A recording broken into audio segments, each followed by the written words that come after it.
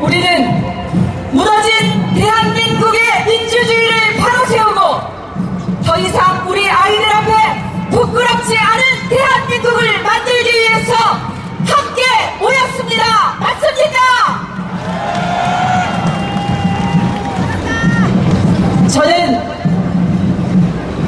박근혜 최순실 국정농단 사태를 사적 권력이 공적 권력을 무력화시킨 사상 초유의 국기문란 헌정 파괴 사태라고 규정합니다.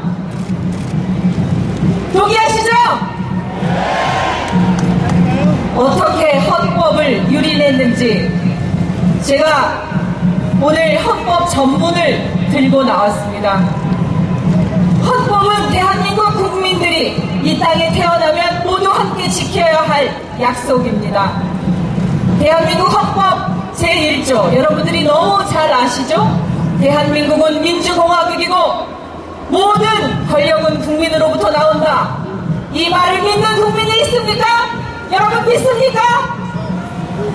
지금 대한민국의 권력은 최태민으로부터 최순실, 나가, 장시호까지 최씨의 일가로부터 나오고 그 중심에 박근혜 대통령이 있다고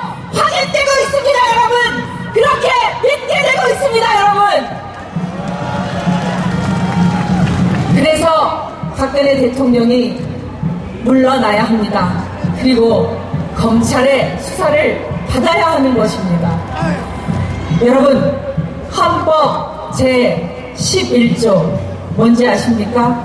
대한민국의 모든 국민은 법 앞에 평등하다고 되어 있습니다.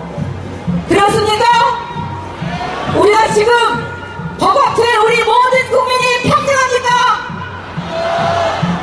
여러분, 팔짱병우 황제 수사를 받았다고 하는 우병우. 우병우를 구속하지 않고 우병우 사단이 포진해 있는 검찰을 그냥 두고 이 박근혜 최순실 게이트의 진실이 밝혀질 것이라고 믿는 국민은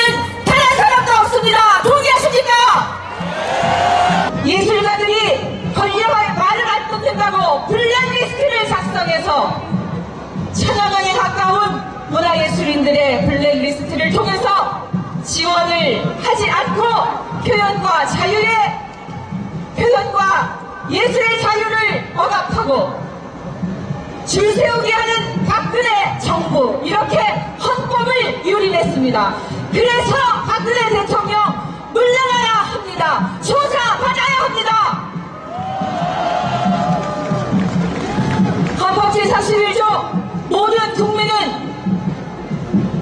동등하게 교육받을 권리가 있다고 보장하고 있습니다.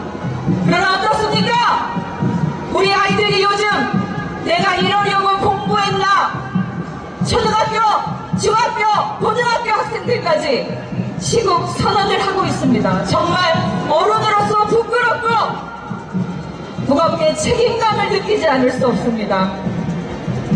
19살 한 청년은 자신의 삶을 책임지기 위해서 스크린도어에 사고를 당해서 목숨을 잃는 현실에서 등록금을 벌기 위해서 아르바이트 하다가 죽어가는 학생들이 있는 상황에서 돈도 실력이다. 너네 부모 원망이라 서기들을 조롱하고 있습니다 여러분. 이렇게 헌법 질서를 유린하는 박근혜 정부 박근혜 대통령 물러나고 수사받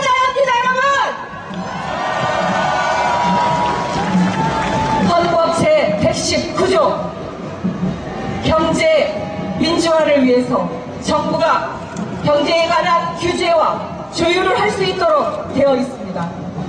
박근혜 대통령 후보 시절에 경제 민주화 약속하고 거짓말로 국민을 속이고 대통령 된 후에 어떻게 했습니까? 대기업들에게 수억에서 수천억을 모아내고 그 대가로 재벌 규제를 완화하고 재벌의 특혜를 주었습니다. 2015년 10월 27일 이르 세상이 문체로부터 설립 허가를 받은 날 박근혜 대통령은 국회에 와서 시장 연설을 통해 경제가 어렵다 고통분담 없이는 국가경제가 성장할 수 없다 그러니 경제 규제 완화하는 법 해금을 손쉽게 하는 노동압법 반드시 통과시켜달라 압박을 하고 갔습니다 대기업 대기업 규제를 완화하고 특혜를 주는 법을 국회에 강요했던 것입니다. 이러니 법인세를 인상할 이유가 없고 골목골목 사건을 대기업이 침투해도 그것을 막아낼 의지가 없는 정부 경제 민주화의 약속은 깡그리 묵살하고